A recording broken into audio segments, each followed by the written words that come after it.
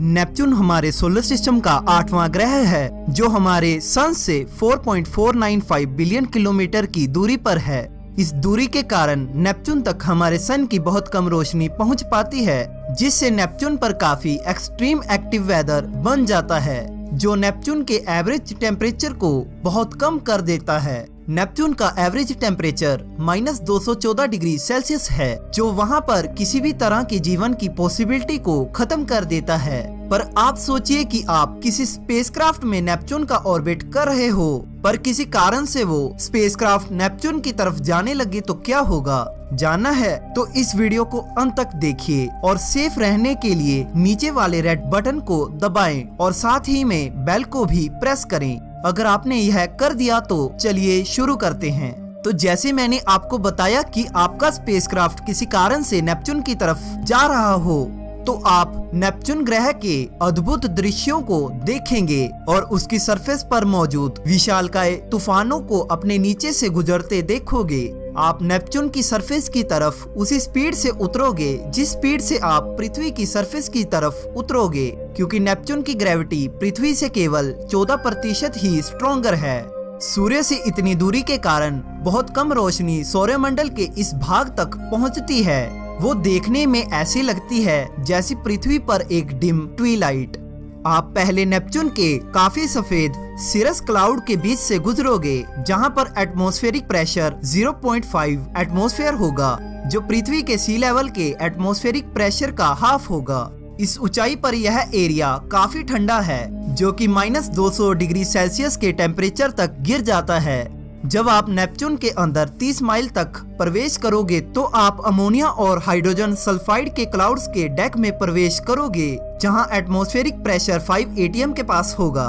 इन clouds की speed पृथ्वी पर sound की स्पीड से भी काफ़ी ज़्यादा है जिससे वहाँ पर चलने वाली हवाएँ हमारे सोलर सिस्टम में सबसे तेज हैं, जो कि लगभग 1500 माइल पर आर की स्पीड तक पहुँच जाती हैं। पर आप अपने साइंस फिक्शन वाले स्पेस सूट के कारण स्टेडी रहकर आप नेपच्यून की तरफ़ उतरोगे।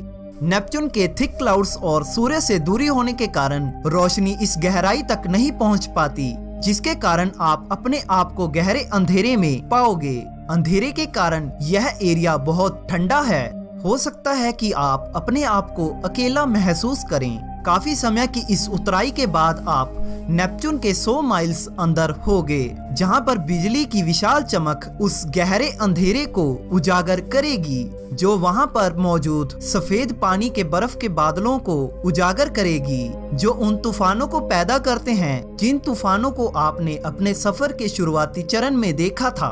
तो जैसे ही क्लाउड की स्टेज को आप क्रॉस करेंगे तो एटमोस्फेरिक प्रेशर 50 एटीएम तक बढ़ जाएगा और तापमान लगभग 26 डिग्री के पास होगा। आप अपने हाईटेक साइंस फिक्शन वाले हेलमेट से अपने अराउंड सब कुछ देख पाओगे। लेकिन आप जल्दी ही महसूस करोगे कि जो क्लाउड्स की लेयर थी, वो आपके एडवेंचर का आसान हिस्सा थी। जैसे ही आप आइस क्लाउड्स के नीचे से गुजरोगे तो प्रेशर काफ़ी ज़्यादा बढ़ जाएगा और तापमान लगभग 1000 डिग्री सेल्सियस तक पहुँच जाएगा। लेकिन आपके साइंस फिक्शन वाले सूट के कारण आपको यह कुछ भी महसूस नहीं होगा। तो आप नेपच्यून के और अंदर की तरफ़ जाते रहोगे। तो काफ़ी समय तक नेपच्यून में उतरने के बाद आप नेपच्यून के 4000 माइल्स अंदर होगे और नेपच्यून की मिस्टीरियस मेंटल लेयर में होगे, जहाँ पर आपके साइंस फिक्शन वाले सूट को दस हज़ार एटमोस्फेरिक प्रेशर का सामना करना पड़ेगा। और इसके साथ ही वहाँ के 4000 डिग्री सेल्सियस के तापमान का भी सामना करना पड़ेगा।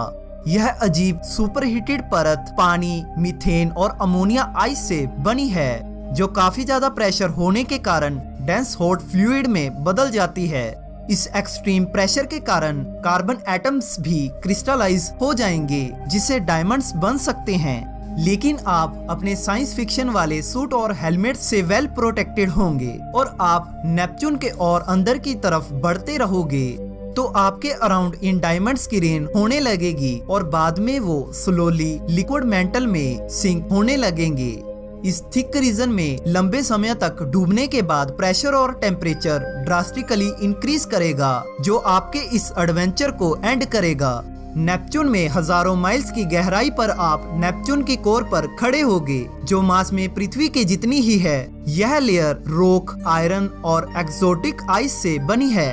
इसके साथ साथ इस पर एक डायमंड की लेयर भी है। आप इस रीजन में फंस जाओगे और आगे मूव नहीं कर पाओगे। आप अपने उस साइंस फिक्शन वाले सूट के साथ अपने बाकी के जीवन को वहाँ पर आगे बढ़ने की होड़ में ही बर्बाद कर दोगे।